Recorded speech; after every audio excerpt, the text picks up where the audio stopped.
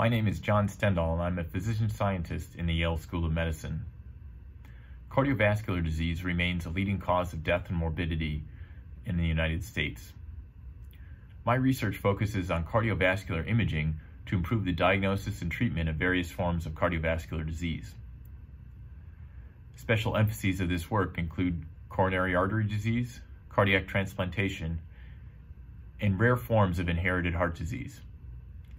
These diseases affect millions in our country alone and many more worldwide. This work not only has the potential to improve care and save lives, it also may lead to significant healthcare cost savings.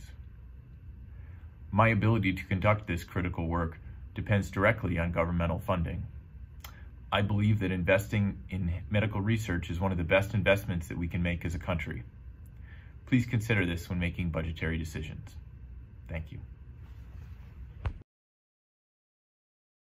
Thank you for taking the time to watch our video, and thank you for your continued support of physician scientists. To write your senator or representative, please go to this link.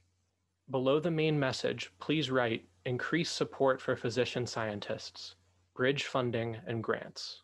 Thank you.